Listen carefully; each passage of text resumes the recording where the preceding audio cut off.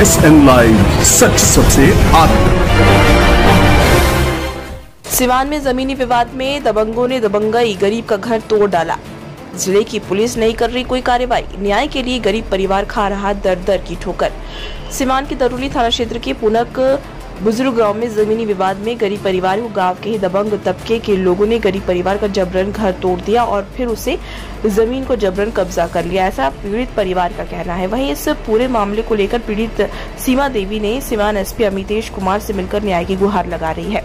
वहीं आपको बता दें कि सीमा देवी ने सिवान एसपी अमितेश कुमार को दिए गए आवेदन में गुहार लगाते हुए कहा है कि मेरे पाटीदार द्वारा मेरे ही घर को तोड़कर मेरे ज़मीन को जबरन यह लोग कब्जा कर लिया है। इसी ज़मीन को लेकर सिवान के न्यायालय में अभी मामला चल रहा है।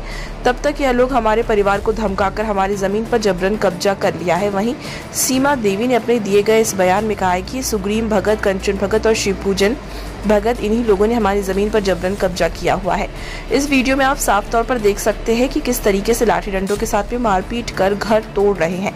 वहीं सीमा देवी ने जिला प्रशासन से न्याय की गुहार लगा रही है और सीमा देवी को अपने ही पाटीदार से जान का भी खतरा है। सीमा देवी ने कहा है कि मेरे परिवार वालों को यह लोग गाली गलोच करते हैं और जान से मारने की भी धमकी दे रहे हैं। ऐसे ही बिहार की तमाम खबरों को देखने के लिए आप देखते रहे एस लाइव न्यूज़।